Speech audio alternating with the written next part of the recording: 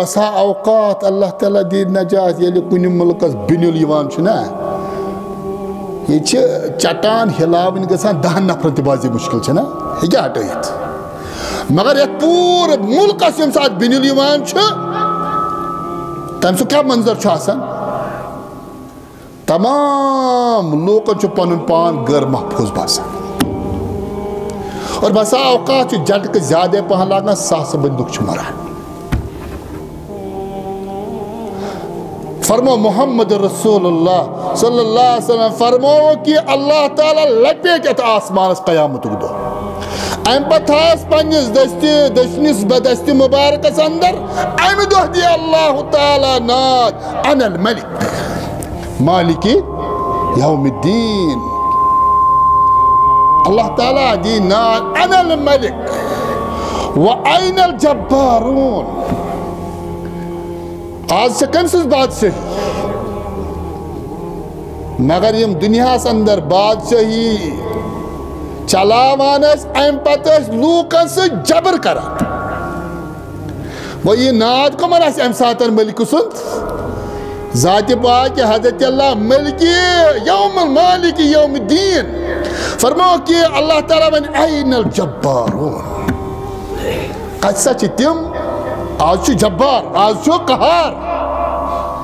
مگر یم کائنات اس اندر حکمرانی اس رٹان ام پتہ اس لوکن سے جبر ورتاوان آج کا چھ تم جبر ون وَأَيْنَ الْمُتَقَبِّرُونَ بے ونی اللہ تعالیٰ کتسا چھ تم تکبر کرن ون تکبر چھن رب العالمین اس پسند؟ یہ شوبی نہیں انسانس کائنات اندر گژھِ اکھ ذہنس اندر بہٕ چھُس بار بار یہ ونان کہ یہ نہِ پننس وجوٗدس اندر اتھ خباستس دِیو زاز یہ چھِ انسان سٕنٛدِ خٲطرٕ خباست کہ سُہ کرِ تکبر کبریٲیی کٔمِس شوٗبہِ رۄب العالمین اللہ تعالیٰ فرما امہ دہ تہ اے آگے جبابر، این الجبارون یمن حکومت اس، اقتدار اس، کرسی اس، طاقت اس۔ فرمک این الجبارون،